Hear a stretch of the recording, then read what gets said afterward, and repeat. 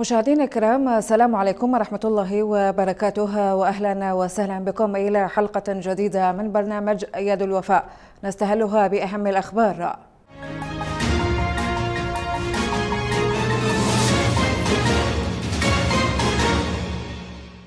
رئيسة مؤسسة الشهداء تترأس اجتماعا لمديري الدوائر العامة ومدير الدائرة القانونية في المؤسسة وتجدد الحرص على أن ينال ذوي الشهداء بفئاتهم الثلاث حقوقهم كاملة.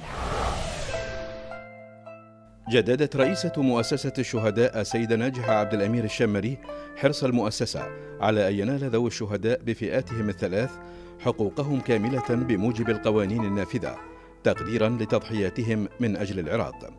السيدة الشمري ولدى ترأسها اجتماعا ضم نائب رئيس المؤسسة مدير عام دائرة شهداء الحشد الشعبي كاظم عويد ومدير عام دائرة ضحايا جرائم حزب البعث أيوب قاسم ومدير عام دائرة شهداء ضحايا العمليات الحربية والأخطاء العسكرية والعمليات الإرهابية طارق المندلاوي ومدير الدائرة القانونية تمهيد صالح. أكدت ضرورة تفعيل السبل التي تكفل زيادة إيرادات المؤسسة وتساعدها في تجاوز الأزمة المالية التي تمر بها نتيجة استمرار تخفيض حصتها من الموازنة العامة. مشيدة بجهود مديري وموظفي الدوائر في تقديم كل ما من شأنه الارتقاء بأداء دوائرهم في خدمة ذوي الشهداء.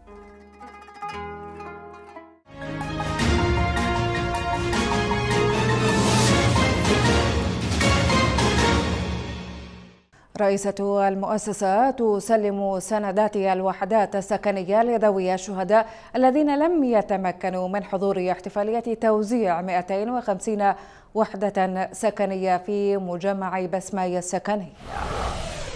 هنأت رئيسة مؤسسة الشهداء السيدة ناجحة عبد الأمير الشمري ذوي الشهداء بمناسبة توزيع الوحدات السكنية في مجمع بسماي السكني بينهم.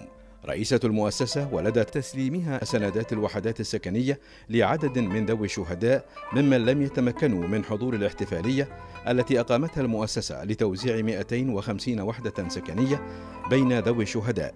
قالت إن توفير السكن الملائم لذوي الشهداء يمثل أولوية للمؤسسة تعويضا لهم عن المعاناة التي عاشوها في حقبة حكم نظام البعث البائد. مؤكدة عزم المؤسسة مواصلة جهودها حتى يحصل جميع ذوي الشهداء على سكن يليق بهم وبتضحياتهم.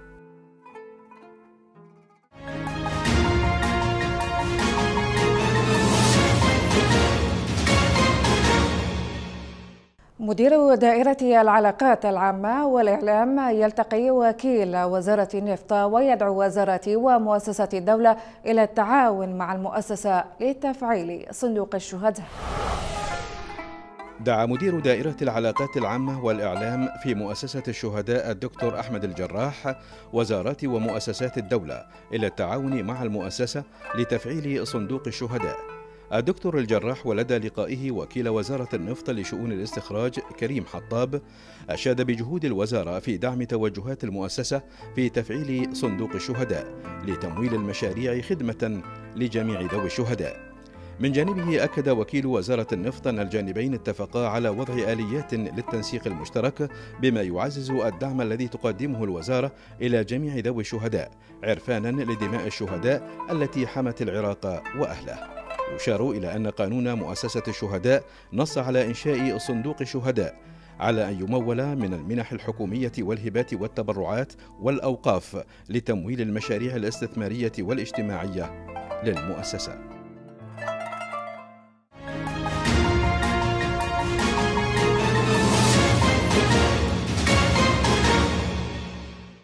مؤسسة دار القرآن الكريم في العراق تقيم أمسية رمضانية لعائلات الشهداء وتكرم عددا من ذوي الشهداء. أقامت مؤسسة دار القرآن الكريم في العراق مكتب الكوفة. أمسية رمضانية ضيفت فيها عائلات الشهداء من أبناء النجف الأشرف.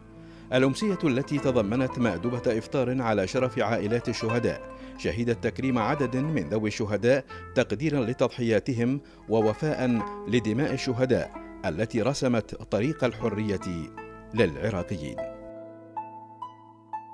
في هذه الأيام المباركة حيث اجتمعت أسر الشهداء في دار القرآن الكريم في هذه الليلة المباركة على وليمة إفطار وتكريم لعوائل الشهداء. هذا التكريم المتواضع البسيط هو من باب التذكرة ومن باب الاستذكار لهذه الأسر الكريمة ولشهدائهم الذين تضرجوا بدمائهم ليقدموا لنا طريق حريتنا بدمائهم الزكية. وهذا التعاون الجميل بين مؤسسة الشهداء ودار القرآن الكريم. نتمنى إن شاء الله أن يدوم هذا التعاون مع كل المؤسسات كذلك مؤسسات المجتمع المدني مع مؤسسة الشهداء لدعمها معنويا ودعمها ماديا لأنها مؤسسة تنوء بحمل ثقيل. وما شاء الله ابتلاءاتنا كثيرة والحمد لله رب العالمين. ولكن الشهداء هم الذين أناروا هذا الطريق وهم الشمعة التي احترقت من أجل أن تضيء لنا الدرب. تقيم مديرية شهداء النجف بالتنسيق مع مؤسسة دار القرآن في في العراق حفل تكريمي لذوي الشهداء. حيث قامت مؤسسة دار القرآن بدعوة عوائل الشهداء على مأدبة إفطار وبعدها قامت بتوزيع الهدايا لذوي الشهداء تكريما لما ناضلوا وضحوا في سبيل خدمة هذا الوطن.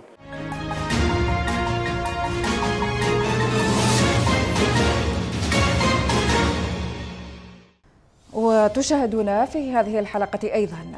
مسؤول شعبة الرواتب التقاعدية والمتراكمة في مكتب نائب رئيس المؤسسة يجيب عن تساؤلات ذوي الشهداء بشأن الرواتب المتراكمة للشهداء.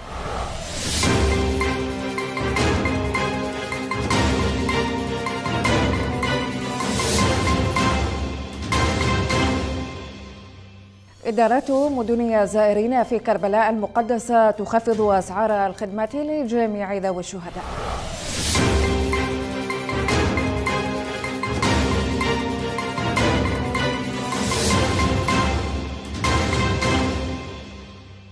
الطالب عباس عبد منديل ينال شهادة الدكتوراه في الآثار عبر قناة مؤسسة الشهداء.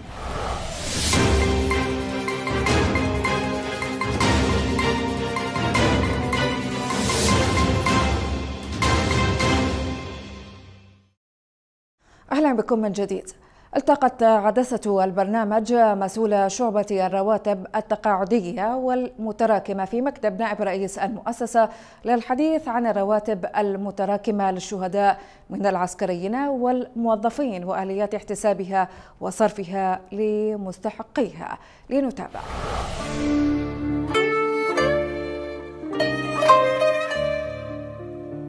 الرواتب المتراكمة للشهداء سواء أكانوا عسكريين أم موظفين مدنيين عند استشهادهم. هذه الرواتب حق مكتسب لذوي الشهداء بموجب القانون ونظرا لكثرة الأسئلة التي وردتنا. بشأن هذه الرواتب التقت عدسة البرنامج مسؤول شعبة الرواتب التقاعدية والمتراكمة في مكتب نائب رئيس مؤسسة الشهداء للإجابة عن هذه التساؤلات.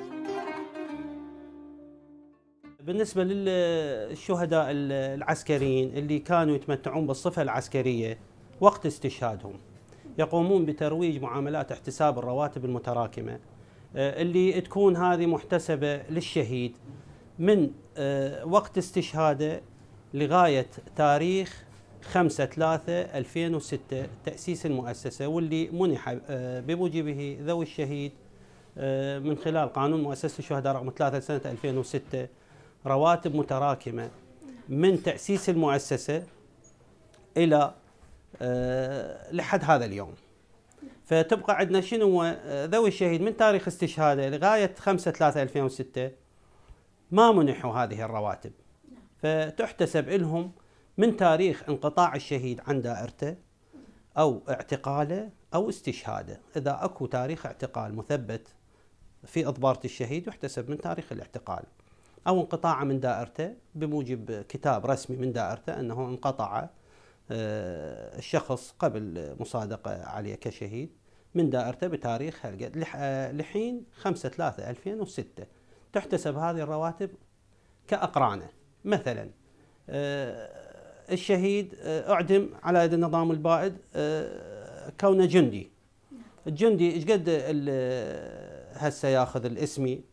مثلا 250 الاسمي تحتسب 250 في 12 3 ملايين. تاريخ مثلا استشهاده 90 إلى 2006 16 سنة. تحتسب هاي المدة على أساس الراتب الاسمي. إيش قد يأخذون أقرانه هسه؟ تحتسب لهذه المبالغ تطلع يعني تقريبا للجندي 30 40 مليون. أما بالنسبة للضباط لا. فتحتسب على أقرانه. القانون ينص على أنه تحتسب كأقرانه. هسه مثلا الاسمي للضابط مثلا 700 أو 800 تحتسب على أساس ال 800 ألف الاسمي. مو مثل الجندي. طبعا الضابط تكون المبالغ أكبر مالته. أما فيما يخص المدنيين اهماته إذا يعني إذا الشهيد استشهد مثلا من الدرجة الرابعة حسب السلم الوظيفي للموظفين الدرجه الرابعه مثلا الاسمي مالته خلينا نقول 400 مثلا. تحتسب في هاي المدة في 400 على عدد الأشهر. الشهداء العسكريين يقومون بترويج معاملاتهم عن طريق المديريات. يقوم ذوي الشهيد بتقديم طلب إلى المديرية آه، يسموه طلب لغرض احتساب الرواتب المتراكمة للشهداء العسكريين. ينظم ملف في المديرية. آه، يحتوي هذا الملف المستمسكات الأربعة لمقدم الطلب صورة قيد وفاة للشهيد وصورة قيد نفوس للشهيد والهويات التقاعدية للمستفيدين من راتب الشهيد من هو اللي ياخذ راتب على الشهيد؟ لأنه بالنهاية راح تتقسم حسب القسام الشرعي هذه الرواتب. دفتر الخدمه مو المستمسك الوحيد لا. بالنسبة للشهداء العسكريين دائرة التقاعد العسكري حددتنا بمستمسكات آه، قد تكون أربعة أو خمس مستمسكات. اللي هي مثلا صورة قيد وفاة للشهيد صادرة بموجب شهادة الوفاة وليس حجة الوفاة لأن حجة الوفاة صدرت بعد استشهاد الشهيد بكم سنة. فما معلوم يعني أنه مهنته ما نقدر نثبته. لكن شهادة الوفاة اللي تصدر حين وفاة الشهيد مثبت بها المهنة عسكري. نقدر نستدل به. فصورة قيد الوفاة اللي صادرة بموجب هاي الشهادة تعتبر يعني مستمسك رصين يثبت صفة الشهيد العسكرية. والمستمسك الثاني مقتبس حكم اللي كلنا إحنا نعرف أيام النظام السابق آه، كان يصدر مقتبس آه، من وزارة المالية وكتاب إلى عقارات الدولة. حجز أموال المنقولة وغير المنقولة للمعدوم. فهذه نستدل بها. مثلا حجز أموال منقولة وغير منقولة لنائب ضابط أو جيم ميم أو نائب عريف أو رئيس عرفاء. فنستدل من هذا من رتبته أنه وقت استشهاده كان يتمتع بالصفة العسكرية. أما إذا لا يوجد مقتبس ولا شهادة وفاة نعتمد دفتر الخدمة العسكرية. شرط دفتر الخدمة أن يحتوي على تسويق الشهيد سيقة إلى مركز تدريب آه، معروف أنه الصفحة سبعة من دفتر الخدمة السابق للجيش التجانيد أنه سيقة إلى مركز تدريب مثلا منصورية الجبل بكتابنا المرقم هالقد بتاريخ هالقد. آه، على بشرط أن ما يحتوي الدفتر أنه تسرح جيم ميم أو رئيس عرفاء. بس تسويق. وما بي تسريح وأكو تزامن بين التسويق مثلا والإعدام. نستدل بأنه الشهيد قد أعدم على يد النظام البائد أثناء خدمته العسكرية ومو شرط مكلف أو مطوع على حد سواء تحتسب لهم الرواتب المتراكمة. كلمة أخيرة إحنا نشكركم لأنه آه، قمت بايصال صوتنا لذوي الشهداء وأطلب من ذوي الشهيد أنه ما يتسرع ويقدم شكوى مثلا أنه يراجع الشعب لأنه إحنا آه، إجتنا هواية شكاوي عن طريق آه، المسؤولين والسادة النواب المحترمين لانهم صحيح يعني ممثلين الشعب ويلجون لهم ذوي الشهيد. بس لا يتسرع خليه يجي هنا نشوف شنو موضوعه إذا ما انحل موضوعه خليه يقوم بتقديم شكوى طلب. فأرجو من ذوي الشهيد أنه مراجعة شعبتنا وبابنا مفتوح لهم ورقم فاتورة موجود يراجعنا وياخذ رقم الفاتورة إذا هو محافظات ما يقدر يوصل لبغداد ممكن رقم الفاتورة موجود هسه بكل المحافظات وعن طريق المديريات إذا أرادوا يطلبون هذا الرقم اما تنزودهم به يستفسرون عن أي سؤال وإحنا حاضرين.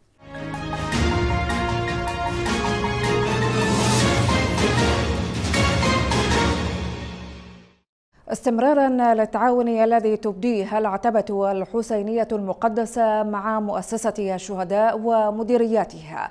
حصلت موافقة إدارات مدن الزائرين التابعة للعتبة على تخفيض أسعار الخدمات المختلفة المتوفرة فيها لجميع ذوي الشهداء. المزيد في التقرير الآتي. حرصا من مؤسسة الشهداء ومديرياتها على تقديم أفضل الخدمات لذوي الشهداء. تسعى مديرية شهداء كربلاء المقدسة إلى التنسيق مع جميع الجهات ذات العلاقة بهذا الشأن. وفي هذا الاتجاه جاء التعاون بين المديرية والعتبة الحسينية المقدسة والذي أثمر الاتفاق على تخفيض أجور السكن والطعام والخدمات الأخرى في مدن الزائرين المنتشرة على الطرق الرابطة بين كربلاء المقدسة والمحافظات المجاورة. هذه المبادرات الخيرية التي يقدمها العتبات المقدسة لعوائل الشهداء وكافة الفئات التي انضمت لها حسب قانون رقم 2 لسنة 2016 وهي مدينة سيد الأوصياء في محافظة كربلاء المقدسة ومدينة الإمام الحسن ومدينة الأخرى اللي هي طبعا ثلاث الموجودة في مداخل كربلاء المقدسة. طبعا تم تخفيض نسبة 25% إلى كافة عوائل الشهداء. من العرسان والمبيت والطعام وكافة التسهيلات لهم من مدينة سيد الأوصياء طبعا كان تخفيض آه، يعني لا بأس به وبنسب متفاوتة من بعض المدن الزائرين الأخرى ويكون التنسيق مع مديرية شهداء كربلاء المقدسة أو آه، بكتاب تأييد من كافة المديريات الموجودة من العراق كل آه، الموجودة في كافة محافظاتنا. ولكافة العوائل الشهداء ومن كافة المحافظات الشكر الجزيل إلى العتبات المقدسة ولدعمهم اللامحدود لعوائل الشهداء ونسأل الله التوفيق لهم ولخدمة هذه المدينة.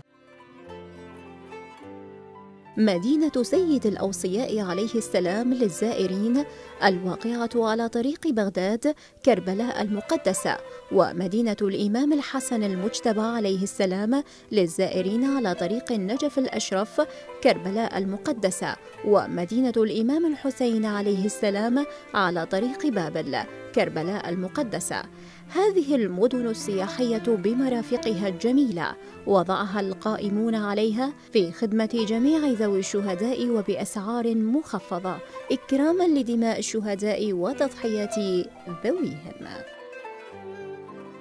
بالنسبة إلى التعاون بين العتبة الحسينية المقدسة مدينة الإمام الحسن المجتبى عليه السلام للزائرين والأخوة في إدارة الشهداء هناك تنسيق مستمر بين بيننا وبين هذه الإدارة وهناك تخفيض لهم تقريبا يصل إلى 80% من الأسعار خصوصا لعوائل الشهداء والمضطهدين وإحنا إن شاء الله بالنسبة كالسكن والإطعام والنقل هم هذا أكو تنسيق وتعاون مشترك بين الطرفين. طبعا توجيه مباشر من سماحة المتولي الشرعي للعتبه الحسين المقدسة والسيد الامين العام هناك تخفيض خاص لعوائل الشهداء عوائل اللي ضحت حقيقة بفلذات الأكباد. وهذا جزء بسيط نقدر نقدمه لهذه العوائل. آه، عملنا تخفيضات بالنسبة للسكن السكن الخاص وجبات الطعام. توفير آه، آليات نقلهم من وإلى المدينة إن شاء الله. وراح نكون آه، باستقبالهم. ونأمل من الله سبحانه وتعالى أن نكون حقيقة يعني نقدر نوفي. ولو جزء بسيط من هذه التضحيات هذه الدماء اللي حفظت لنا كرامتنا مقدساتنا أعراضنا وبفضلهم بقت هذه المدن وهذه الأماكن المقدسة حقيقة هو جزء بسيط نعمل من الله سبحانه وتعالى أن يوفقنا حتى نكون عند حسن ظنهم إن شاء الله. تم استقبال آه، للعوائل واستحداث نسبة خصم للسكن لعرسان ذوي الأعراس ذوي الشهداء آه، القادمين إلى مدينة سيد الأوصياء اضافه إلى أنه تم التنسيق مع مديرية الشهداء آه، فرع كربلاء آه، باستقبال عوائل الشهداء وتنظيم رحلات وسفرات ترفيهية لأطفال آه، عوائل الشهداء. يعني قدر الإمكان لتخفيف بعض الكاهل وبعض المعاناة وتقديم أقل ما يكون لهؤلاء الذين ضحوا بأغلى ما يكون. أغلى شيء في الوجود سواء الأب أو الأخ. الحمد لله والشكر. آه، تم احتساب نسبة خصم تقدر ب 25% لاستقبال أعراسهم وتم تهيئة كافة مستلزمات الضيافة للعوائل. وتضم كل مدينة من مدن الزائرين منشآت إدارية وخدمية ومسجدا وقاعات وشققا لسكن الزائرين ومركزا صحيا وحدائق غناء ومرافق ترفيهية كمجمعات ألعاب الأطفال. كل هذه المنشآت وضعتها إدارات المدن في خدمة ذوي الشهداء القادمين من جميع المحافظات.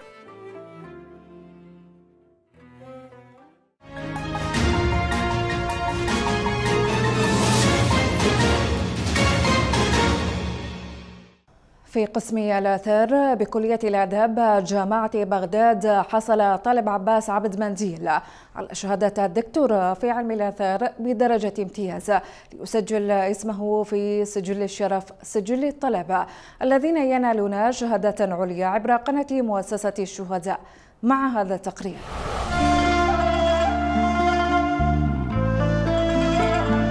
في إطار جهود مؤسسة الشهداء الرامية إلى دعم الطلبة المتفوقين من ذوي الشهداء لينالوا الشهادات العليا.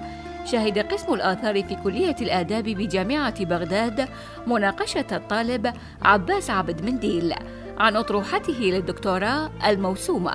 حماية الموروث الحضاري لبلاد الرافدين في المواقع الآثارية والمتاحف. وقررت لجنة المناقشة منح الطالب شهادة الدكتوراه في علم الآثار بدرجة امتياز. موضوع طرحة الدكتوراه اللي تقدم بها الطالب آه، عباس عبد منديل من المواضيع الجيدة والجديدة والتي تستحق الدراسة وفعلا هي من المواضيع التي لم تطرق سابقا. بذل الطالب جهودا استثنائية كبيرة استخدم المراجع والمصادر القديمة والحديثة تقريبا أكثر من 800 مصدر استخدم الطالب وكانت النتيجة أنه آه، كان شغلا رائعا واستخدم الأسلوب العلمي الرائع الدقيق آه، الكتابة كانت مطابقة لما دونه في ثنايا الأطروحة. الباحث قد أجاد في عرض الأحداث وفي سرد كافة الأحداث التاريخية التي تتعلق بجميع المواقع وكيفية حماية الموروث الحضاري فكان موضوع يستحق درجة عالية عليه لما بذله من جهود في عرض جميع الأحداث. وخاصة إذا ما علمنا أن أنه الطالب قدم أكثر من 400 صفحة من الأطروحة فهذا دليل على أن الموضوع خاصة إذا ما علمنا أن الموضوع الذي استخدمه الطالب قد أدخل فيه القانون الدولي وكيفية الحماية على المواضيع الأثرية. مديرية شهداء الكرخ التي كانت على تواصل مستمر مع الطالب منذ قبوله في الدراسات العليا حرصت على إرسال وفد يمثلها لحضور جلسة مناقشة أطروحة الدكتوراه للطالب لتضيف الدعم المعنوي إلى ما قدمته له من دعم مادي طيلة مدة دراسته العليا. حضر اليوم وفد مؤسسة الشهداء مديرية شهداء الكرخ لمناقشة آه، طالب الدكتوراه آه، عباس عبد منديل آه، لرسالته الموسومة حماية الموروث الحضاري لبلاد الرافدين. وإن شاء الله هذا إنجاز لعوائل الشهداء ونتمنى للطالب التوفيق والتقدم. الباحث الذي قدم بحثا علميا متميزا في مجال الحفاظ على الآثار نال استحسان لجنة المناقشة. أشاد بجهود مؤسسة الشهداء في رعايته منذ قبوله في الماجستير حتى حصوله على شهادة الدكتوراه. دابت مؤسسة الشهداء على مساندة أبنائها آه، في المجال التعليمي والمجال الثقافي وعلى كافة الأصعدة آه، بالحقيقة هذه المرة الثانية اللي أتشرف أن أن تدعمني مؤسسة الشهداء لنيل شهادة الدكتوراه وسبق ذلك حصولي على شهادة الماجستير والحمد لله وبدرجة امتياز. آه، شكري وتقديري إلى مؤسسة الشهداء الداعمة دوما آه، لذوي الشهداء. مع وافر شكر والتقدير. وإذ تمنح مؤسسة شهداء الطلبة المتفوقين من ذوي الشهداء فرص مواصلة دراستهم العليا فإنما لتؤكد قدرة ذوي الشهداء على نيل الشهادات العليا بعد أن منعوا من ذلك قسرا في حقبة حكم نظام البعث البائد.